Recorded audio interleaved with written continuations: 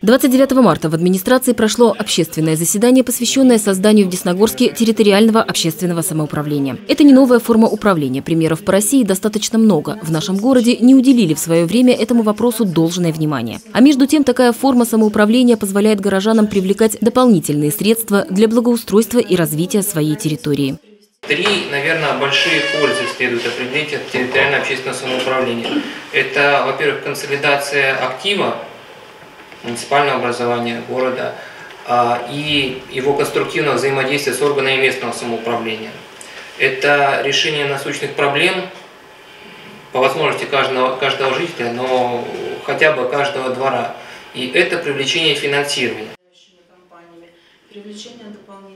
Для этого необходима активная инициатива от собственников жилья. Пока активность наших горожан ограничивалась жалобами и претензиями в адрес администрации, коммунальщиков и подрядчиков. Всегда побеждала иждивенческая политика. Я сказал, а вы должны. Руководители муниципалитета уже сами идут навстречу собственников и гарантируют им всяческую пошаговую помощь в создании ТОСа. Глава постарался донести до собравшихся те преимущества, которые дадут горожанам создание на их территориях ТОСов.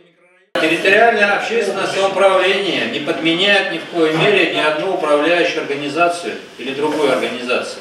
Это э, там находятся люди инициативные, которые заинтересованы в развитии нашего города и наших территорий. Чтобы через, эти, через данное территориальное общественное самоуправление мы могли привести в город средства на развитие культуры, благоустройства и других ряд вопросов, которые сейчас существуют.